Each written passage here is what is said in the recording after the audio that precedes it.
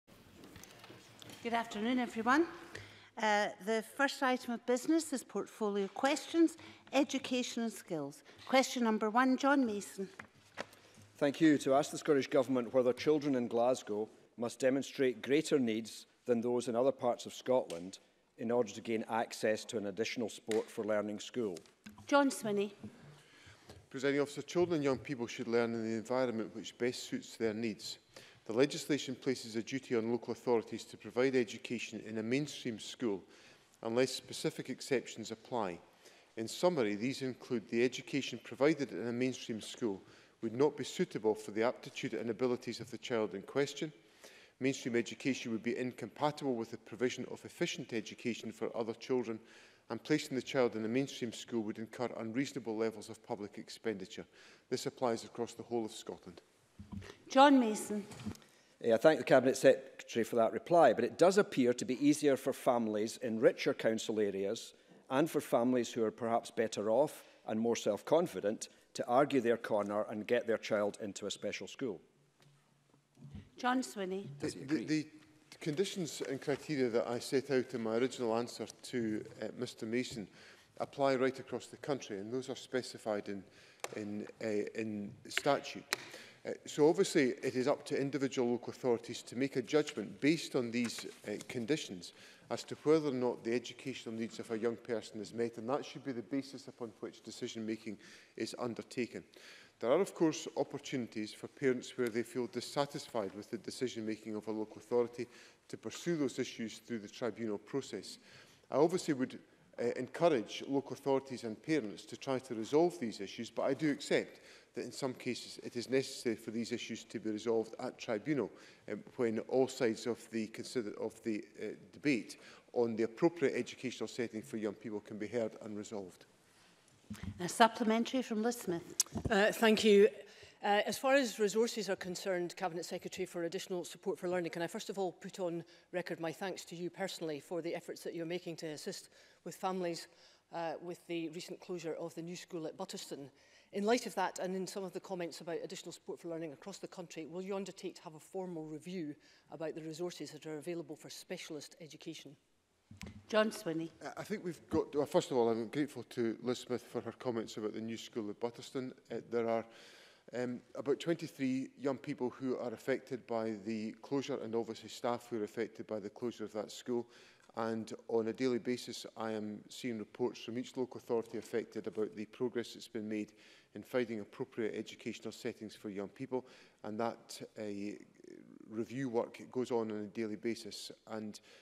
uh, some progress has been made in some cases but not in all cases and it will take time to find appropriate placements for young people.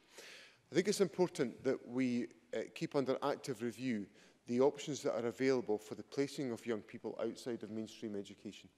And fundamentally, the, the law is clear that we should encourage uh, mainstreaming, but there are exceptions that are specified in the Standards and Schools Act 2000. And uh, I obviously want to maintain uh, an overview of the provision that is available in consultation with local authorities to make sure that there are options available to meet the needs of young people in such circumstances.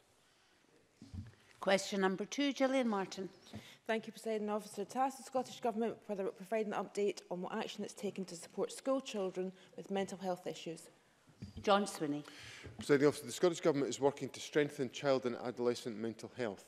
We know that prevention and early intervention make a big difference in reducing the risk of developing mental health problems. We are working collaboratively to provide access to counsellors in schools. This will complement the spectrum of mental health services already being provided in schools to ensure that every child and young person has access to emotional and well-being support in school. We are also continuing to support local authorities to access mental health first aid training for key staff. Gillian Martin. Thank the Cabinet Secretary for that answer.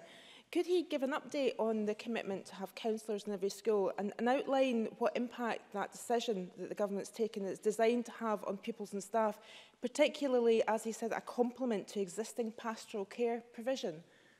John Swinney. Uh, President Officer, there is work actively underway to advance these commitments and we are working with key partners to identify the best use of resources and will publish a programme for delivery that will ensure that this commitment is made. Um, we said in the programme for government that we would set out uh, a delivery plan on all of the mental health commitments contained within the programme for government and that work is currently underway.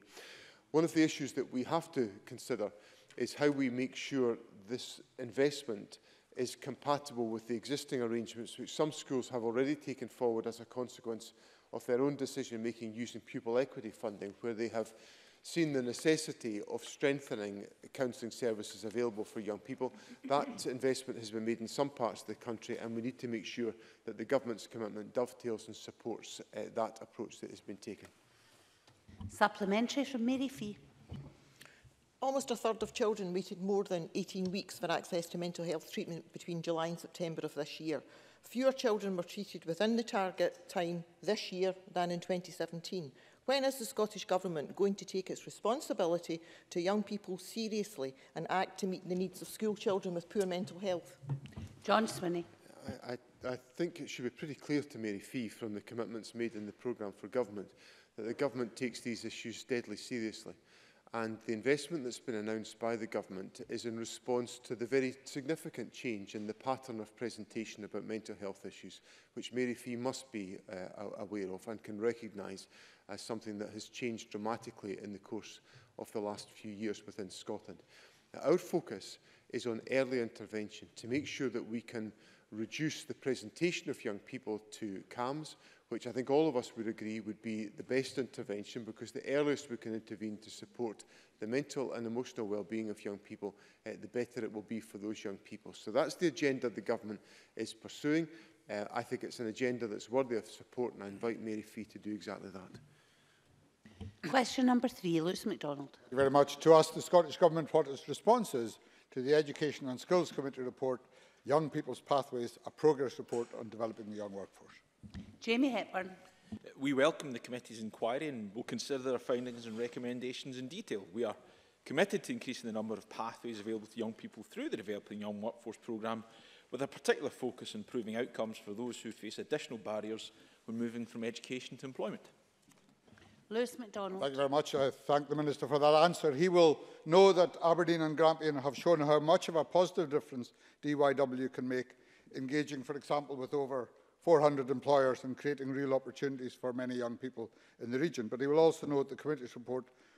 points out that that is not happening in other places. Does the Minister agree with the committee that, that a greater sense of urgency in rolling that out is required? Jamie Hepburn. Well, let me say I, I take no sense of a lack of urgency in the rollout of developing the young workforce. Starting from the top, this government is utterly committed to rolling out developing the young workforce across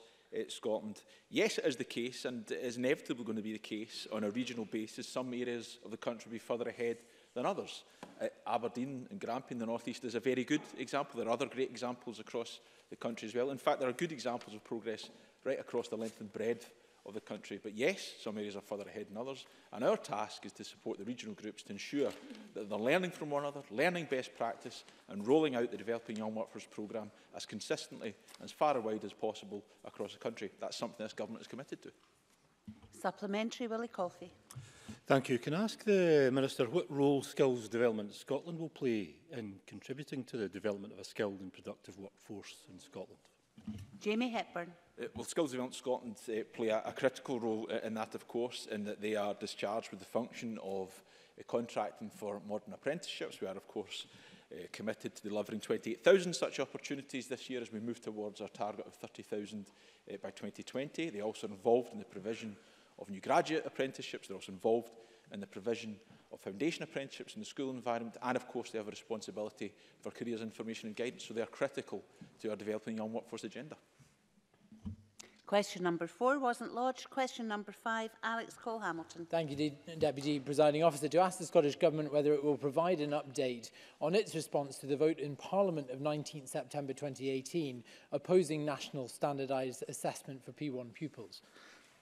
John Swinney. Presiding Officer, on the 25th of October, I made a parliamentary statement announcing an independent review of P1 assessments. The review will consider all the evidence gathered and provide recommendations by May 2019. Alex Cole-Hamilton. I'm grateful to the Cabinet Secretary for that answer. We voted in this chamber to end the national assessment of five-year-olds, and yet still this government persists, arguably in contempt of this Parliament. So can I ask firstly that the government halt the programme of national assessment of P1s immediately and for the duration of that review? And can I also ask for a guarantee from the Cabinet Secretary that his government will attach no precondition to education funding on the delivery of these assessments, as it sometimes does in other policy areas, so that authorities considering abandoning these assessments unilaterally can do so without sanction? John Swinney. Um, uh, well, what, where to start with that particular question? Um, the government, I set out in great detail the uh, views of the government in relation to the decision that was taken by Parliament on the 19th of September. It's no secret that I didn't think the debate was driven by educational considerations. I thought it was driven by politics. And what was clear to me in coming to that conclusion was that for a sustained amount of time in local authorities led by the Labour Party, the SNP, the Conservatives and the Liberals, and the Liberals, there were P1 standardised assessments that people didn't bat an eyelid to. So I think we've got to be careful that we don't take decisions uh, based on uh, political considerations in Parliament that may damage the educational journey of young people through our education system, because that would not serve young people at all well. So we've, I've invited other parties to give me input into the independent review. I'm grateful to the Conservatives, uh, to the Labour Party and to the Greens for providing me with input which I'm currently considering with the Chief Inspector of Education to make sure that we can build some broad agreement about how we uh, pursue the consideration of what I recognise to be an issue that divides opinion within Parliament, but where I'm determined to take a, come to a conclusion that is in the interest of children and young people in Scotland. I have two supplementary requests. If you could make them quick questions, please. Joanne Lamont, followed by Tom Arthur. I mean, I have to say to the, the Cabinet Secretary, it does him no uh, good at all to impugn the motives of those people who believe in educational terms that this policy is inappropriate. But given the current debate, and this is important here and elsewhere about accepting the will of Parliament, will the Cabinet Secretary firstly outline on the basis of what advice did he decide to push ahead with P1 testing while his group sets about seeking the evidence to justify it? And would he not recognise that to respect the decision of the Scottish Parliament and the views of many families and teachers about this policy, it would be more appropriate to suspend primary one testing until at least his group reports? Uh, no, I, John I, I, I take entirely the opposite view because I think it's important as we undertake this exercise that we build the evidence base for that to be the case. And, other, uh, and a further year of primary one standardised assessments, in my view, will help us to inform that judgment. In relation to the first point that Joanne Lamont raises with me, um, I reflected on what I considered to be, in the light of the evidence I've taken from, for example, directors of education around the country, or the views that I've taken from many teachers around the country who view and value the information and particularly the diagnostic information that is available about the performance of primary one pupils, which then informs educational judgments made professionally about the next steps in learning of young people. And it's on those judgments that I, to, to which I attach significant weight in my, in my consideration of this issue. Tom Arthur. Thank you, Presiding Officer. I wonder if the Deputy First Minister can um, give an update and an indication of how many opposition MSPs have taken up the offer to consult on the details of the remit of the review of the Primary One assessments. John Swinney. Well, I, I, as I indicated in my earlier answer, I've had um, information and feedback from the Conservatives, the, Liberal, the Labour Party and the Greens on that. I'm reflecting on that to help to formulate a more broadly based assessment of this, uh, of this exercise so that we can come to an evidenced conclusion as a consequence. And I think that's an orderly way for me to respond constructively to the decision of Parliament. Uh, two things I would like to say here. Can we stop having private conversations? uh, across desks, please. And also when I request quick supplementaries, that is a request because it disadvantages other people when folk go on. Number six, Gail Ross. Thank you, President Officer. To ask the Scottish Government when the last review of how probationer teachers are allocated was undertaken. John Swinney. President Officer, probationary teachers are allocated to local authorities through the Teacher Induction Scheme on the basis of student choice and availability of posts. The allocation process has been in place since the inception of the Teacher Induction Scheme in 2004. The Teacher Induction Scheme Ongoing Review Group has an ongoing role in monitoring the process and will continue to do so in the period ahead. Gail Ross. I thank the Cabinet Secretary for that answer. The current practice of telling schools in May how many probationers they're getting for the following year is severely restricting some rural schools in deciding their pupils' options forms and in setting their timetables. Will the Cabinet Secretary consider looking at changing the system so that schools can find out much earlier in the year how many probationers they are due to get, making it fairer and easier on both pupils and teachers? John Swinney.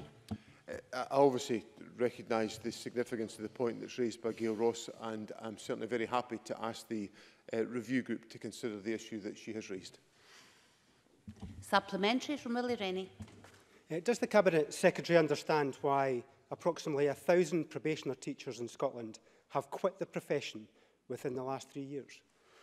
John Swinney. Well, obviously individuals will make judgments about uh, whether they are comfortable uh, in the employment choices that they have made.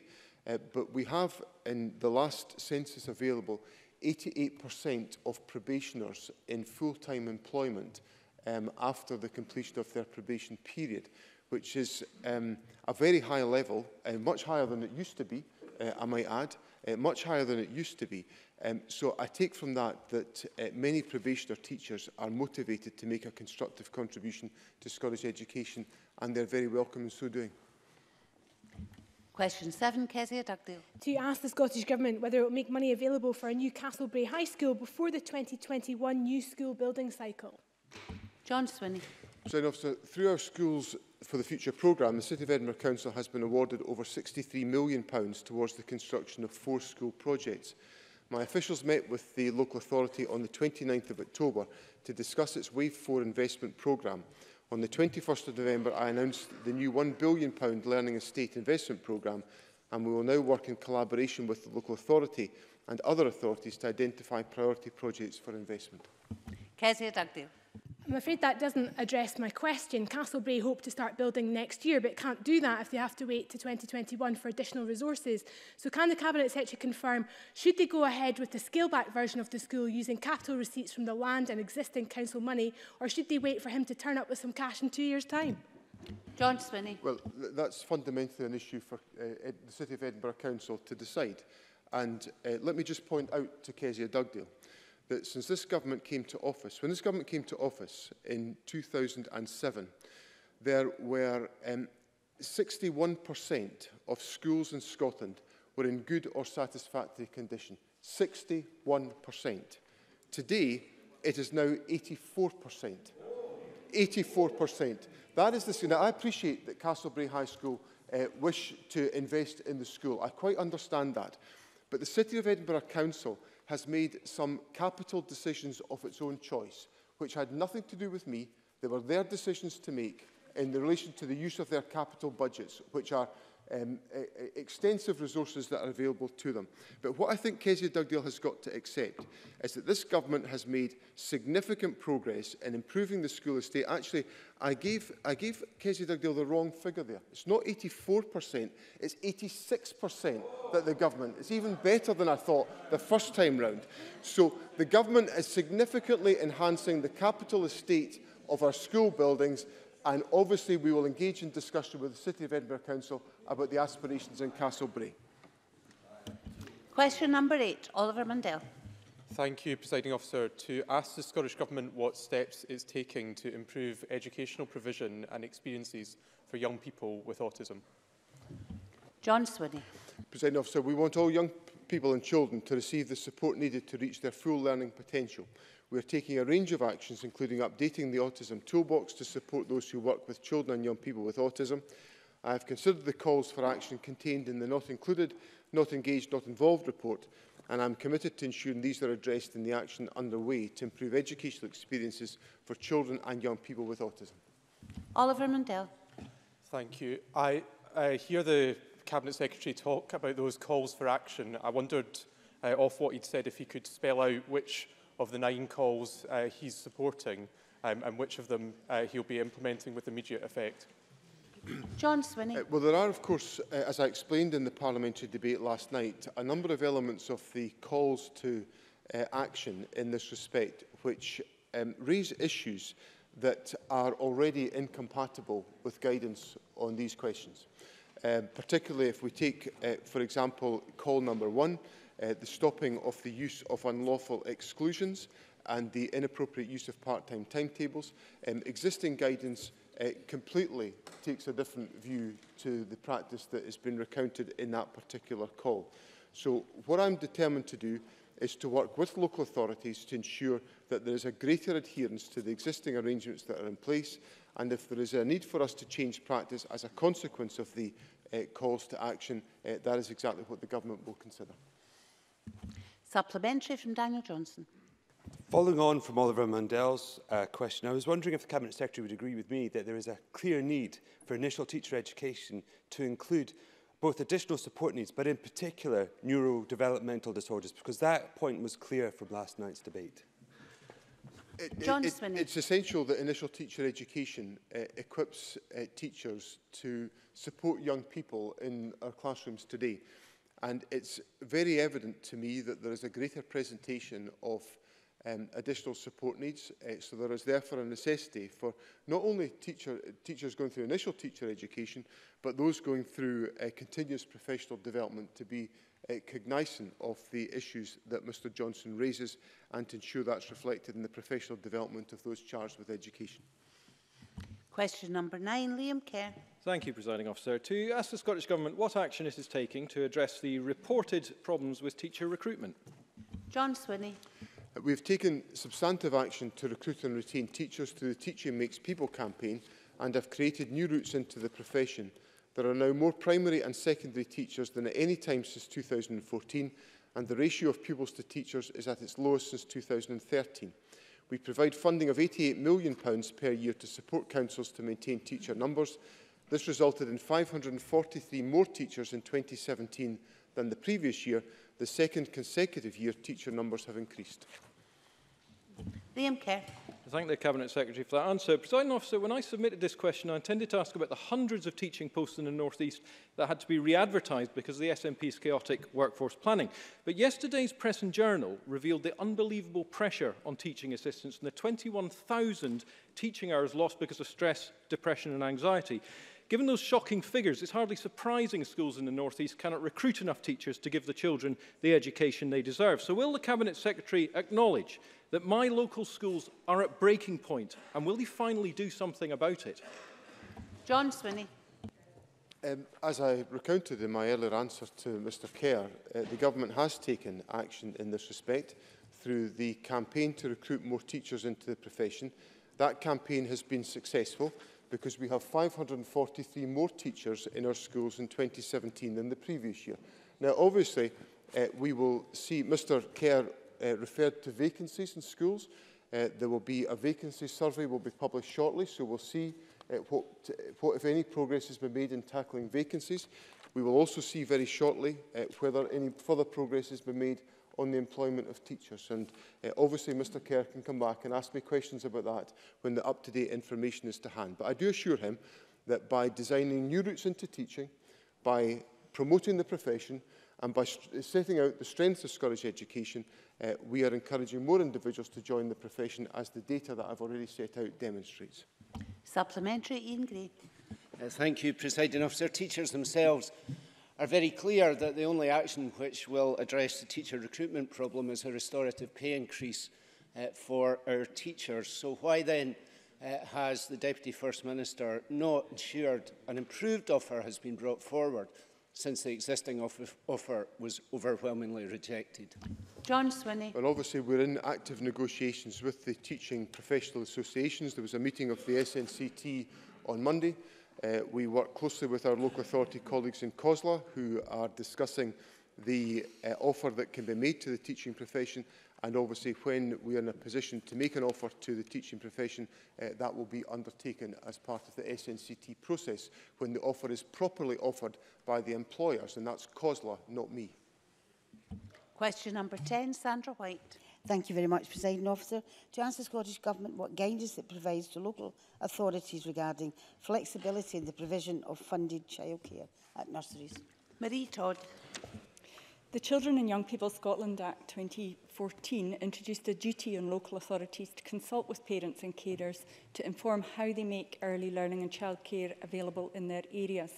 This is to ensure that the provision of funded ELC within an authority is flexible enough to allow families an appropriate degree of choice when deciding how to access the service. There is supporting statutory guidance to help local authorities to meet these duties. Sandra White the Minister for that reply. Uh, Minister, I have met with a number of nurseries in my constituency and lots of concerns have been expressed by not just the providers but by parents as well in regards to the inflexibility of hours provided by Glasgow City Council and the difficulties this actually uh, puts forward for them. I wonder if the Minister would be with me to talk over and discuss uh, the issues which has been raised by, by parents and providers in Glasgow City Council. Marie Todd. Yes, absolutely. Um, I would welcome a meeting with Sandra White to discuss these issues. But let me reiterate again, local authorities have a duty to consult with families um, to inform the delivery of funded ELC in their areas. And that should be reflected in the local authority expansion plans. That happens every couple of years. Flexibility should be driven by local demand from families regarding the nature and the type of provision that they require, and that should see a range of delivery models right across the authority.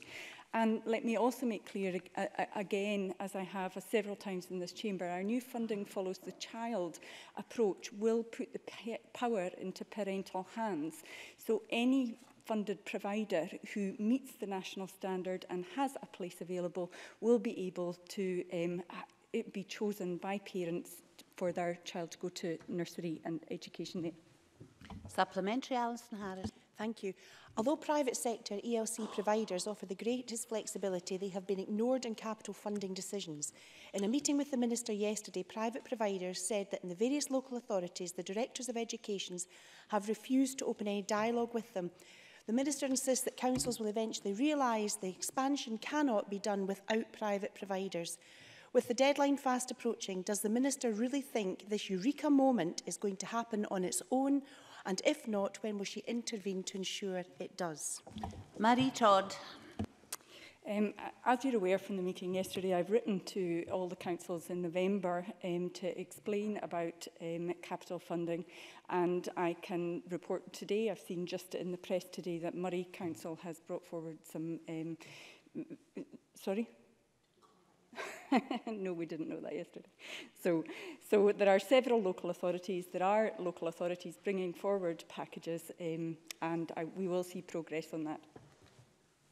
Uh, can I reiterate, please, that I don't like private conversations to be going on in the middle of question sessions? And go to question number 11, Bruce Crawford. Thank you, President Officer. To ask the Scottish Government whether it will provide an update on the number of modern apprenticeship places in the Stirling area. Jamie Hepburn. Eh, the published Modern apprenticeships Statistics second quarter, which covers April-September 2018, reported 225 new modern apprenticeship starts in the Stirling area, which is up from 212 at the same point the previous year. Including those already undertaking an apprenticeship, as of 28th of September, there were 619 apprentices in training in Stirling. Bruce Crawford. I thank the Minister for that very helpful answer. Uh, can the Minister con confirm what the impact of the UK Government's apprenticeship levy has been on employers and apprentices in Scotland? Jamie Hepburn. Uh, well, the most obvious impact on employers, at least for those with a payroll of £3 million or more, it uh, officers, has been that they are, are subject to paying uh, the levy, and that was without any prior consultation with them as to the, the likely impact. That includes the public sector in Scotland, which we estimate had to contribute £73 million in 2017-18. Of course, we get on uh, with the job. Uh, in Scotland, we are delivering more apprentice starts than ever before, with a record number of 27,145 starts last year, up from 26,262. Eh, that's in contrast to the position in England, which according to Department for e-, Education statistics showed that between August 2017 and July 2018, there was a drop of 24.75% in apprenticeship starts compared to the equivalent period the, the previous year. Question number 12, Bill Kidd. Thank you, Presiding Officer. To ask the Scottish Government further to the successful rebuilding of the Clyde and Broomhill primary schools in Glasgow Anniesland, what progress has been made with the rebuilding of Blairdardy Primary School?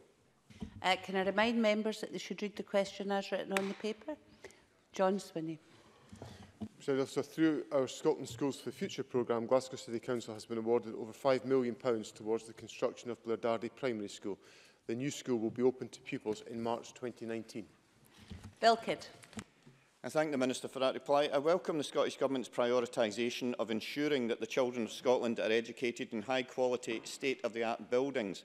Can the Minister outline how the Scottish Government plans to continue to deliver the best quality school buildings for children post-2020 when the current funding phase of Schools for the Future ends?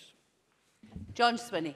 Uh, Presiding officer, so far we've supported 117 schools across Scotland being rebuilt or refurbished and we have the lowest number of schools in unacceptable condition on record. Um, that is uh, a strong performance and it's led to the government announcing a new £1 billion learning estate investment programme which will fund new and refurbished schools across Scotland um, uh, after 2020. A dialogue with local authorities and with COSLA is underway to take forward that, uh, that proposal. Question number 13, Rhoda Grant. To ask the Scottish Government how many additional apprenticeships have been funded by the apprenticeship levy. Jamie Hepburn. In 2017-18, there were 27,145 modern apprenticeship new starts in Scotland, up from 26,262 modern apprenticeship starts the year before. The increase was achieved in the context of a reduction in available public spending leeway in Scotland as a result of the UK Government's apprenticeship levy in April 2017. Uh, eh, due to the public sector liability for the levy, public sector leeway expenditure was reduced by some £30 million in 2017-18. Despite this, the Scottish Government continues to utilise the notional sum allocated to the block grant related to the levy entirely for employability and training related activity. And this year, will support 28,000 modern apprenticeship starts. Rhoda Grant. That seems an incredibly small an amount for the levy that is being charged. I've been speaking to many organisations who have expressed disquiet over the levy. Some pay in and get very little out. Others can't access it at all because the age profile of their staff and apprenticeships does not fit the criteria. Um, and what's not clear is who is actually benefiting from this levy. Will the Minister now sit down with those organisations and speak to them about how they can best use this levy to upskill their workforce?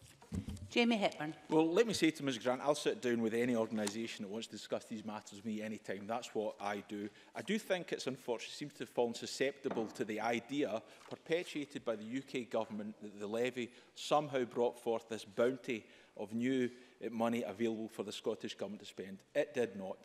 The money that came forward it eh, largely replaced existing expenditure. It was, in fact, eh, a new mechanism by which to raise uh, the funding. What I can say is we're delivering more apprenticeships than we ever have before, 27,145 last year. We'll deliver 28,000 this year. We'll deliver 30,000 by uh, 2020. I've already made the point of the significant reduction the number of apprenticeship starts in England, down at nearly 25% between August 2017 and July 2018 last year, given the levy was predicated on the assumption of an uplift in the number of apprentices in Scotland. Nothing eh, in England, nothing to do with our policy here in Scotland, given that they are clearly failing in England to increase the number.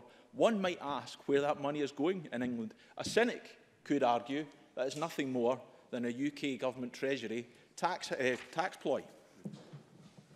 Short supplementary, please, from Jamie Halcrow-Johnson. Following uh, my letter to the First Minister about the hurdles faced by small businesses in uh, assessing uh, apprenticeships, the Minister replied that uh, he'd met with the FSB uh, in July and that his officials would be working with SDS to explore the scope for Focus modern apprenticeships uh, uh, uh, apprenticeship week on small business opportunities. So given that apprenticeship week is only a few months away, can I ask the Minister to update the Chamber on what proposals will be made regarding the next apprenticeship week? Uh, can I just say that uh, short questions doesn't just mean speak faster? Jamie Hepburn. I'll take that on board, uh, President Officer. Uh, dialogue continues. Uh, apprenticeship Week it will come in due course. There is dialogue between the government, FSB and SDS on an ongoing basis. I'm very clear that our small and medium enterprises should benefit by apprenticeships. They have that opportunity. And just as I've said, I'm always willing to engage with the organisations that through the grant Uh, alluded to. I'll always be willing to discuss these matters with the FSB as well. Question number 14, Richard Lyon. Thank you, President Officer. To ask the Scottish Government what action it is taking to mitigate the impact on universities and colleges in Scotland of the UK leaving the EU. Richard Lockhead. We are doing everything in our power to mitigate the damage of Brexit and to protect Scotland's interests, not least by confirming that eligible EU students starting undergraduate course at a university in Scotland autumn 2019 will still have their tuition fees paid for the whole of their course. The simple truth, however, is that Brexit represents such a level of threat to our colleges and universities that we must be clear that no amount of mitigation will stop Brexit damaging our world-class institutions. And we will, of course, continue to discuss these issues with our sectors and staff and students, as we did most recently at the Brexit Summit at the University of Glasgow. And I will also lead a delegation to Brussels next week to strengthen relationships with European stakeholders and ensure Scotland's voice is being heard. Richard Lyle.